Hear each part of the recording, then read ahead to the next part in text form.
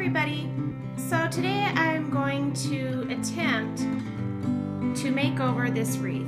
This is just a wreath that I got at Joann's craft store not too long ago. But I don't really use it because it's really plain and it doesn't stand out very much. I have a off-white front door and you just can't really notice this wreath.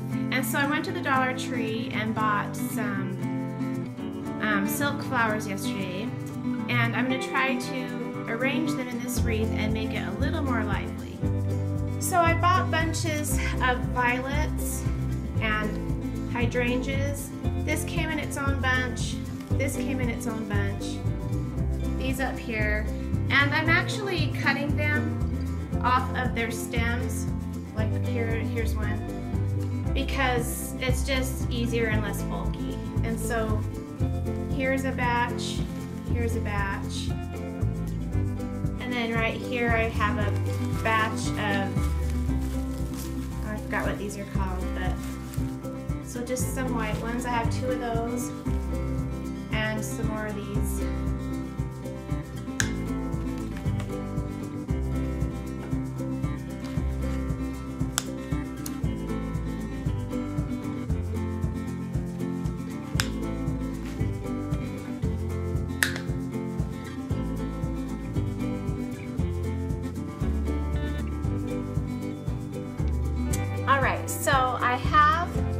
Bunches cut and I'm, I think I'm just going to leave them in their bunches. So I'm kind of just placing them sporadically through here. I don't know quite yet how I'm going to do this or where I'm going to put them, but I'm just trying to get an idea. As some of these leaves I may leave on and some I might take off because they might be too bulky or whatever. So I'm just kind of playing right now as to where I want these to go. I might not even, I might just use half a bunch or I don't know yet. So anyway, I'm just gonna play with this and see how I want it to go. And then we'll take it from there. Okay, here's what my wreath is gonna look like. I have not glued anything in yet. And some of these, well on all of these bunches, instead of leaving the stems really long, I actually ended up cutting them short and using floral wire to tie them together. Um, floral tape would have been great, but I didn't have that. So that, because it was just too hard to stick each stem in. It, I mean, it looks like it would go in, but it really wouldn't. So I figured if I bunched these up in small bunches, I could just like put a whole bunch of hot glue and just kind of lay it down and it'll just stay. So this is how I've arranged my wreath. And then um, if I need to add more stuff, then I will. So I'm just waiting for my hot glue gun. I'm gonna get the glue hot and then we're gonna start gluing it in. I hope I can do this goes nothing.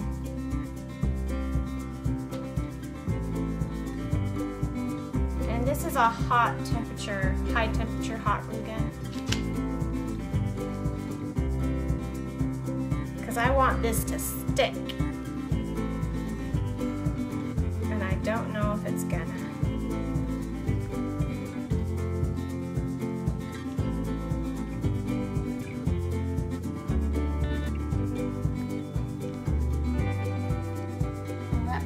Stuck really well. Okay, good.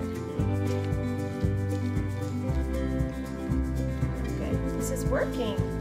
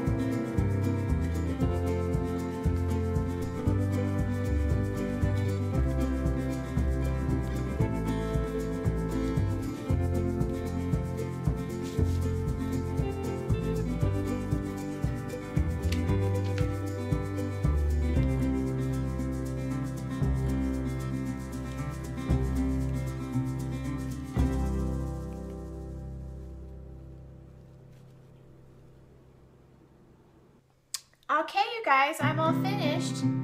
Let's go see what it looks like hanging on the door. See, there's got, they've got these lotus flowers and hydrangea and lilacs. I just love it. All right, you guys, well there it is. I think it turned out so cute. It's my newly remodeled wreath. And all these flowers are from the Dollar Tree except for the yellow wreath itself that was from Joann's craft store. So yeah, I hope you guys enjoyed this. This was my very first craft tutorial. Thanks so much for watching and I'll see you next time.